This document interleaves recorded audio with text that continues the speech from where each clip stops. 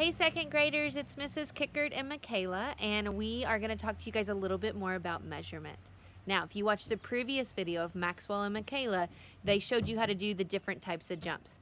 Michaela's here to help me uh, talk to you guys about how to measure those different jumps. So to measure something, you have to have a starting and a stopping point. For this activity, Michaela has chosen to use some pencils as her starting and stopping point. So what she's gonna do in just a second is show you how she lays out her pencil, this green pencil for where she starts, then she's gonna do a jump and then she's gonna lay down the purple pencil where she stopped. Then she's gonna come back with one of those three objects that you found around your house. Her first object she's gonna use is markers. So she's gonna use the markers and she's gonna line them up at her starting point and line them all the way down to her stopping point to see how many markers long her jump was. All right, so we're gonna shift places and she's gonna show you how to do that.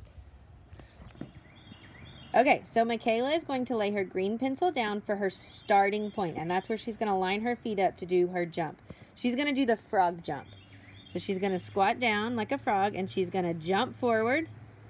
Then where she stops, she's going to lay that purple pencil. Now she's got a nice area that she's going to use to measure with. So she's going to get her markers.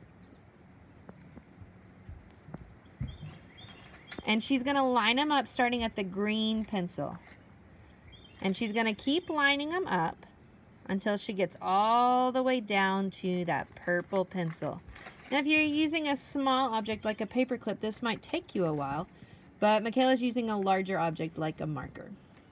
She's lining them all up, and notice how she is lining them one by one. She's not leaving any spaces in between her markers so that she's getting an exact measurement. Okay, and I'm going to she's not quite to the end, so she's going to have a partial marker towards the end there. Okay, so we're going to go back and we're going to count how many markers long her jump was. One, two, three, four, five, six, seven and a half. Seven and a half because that was a partial jump. So that is how you are going to measure your different jumps. But remember, you're going to measure them using three different sized objects.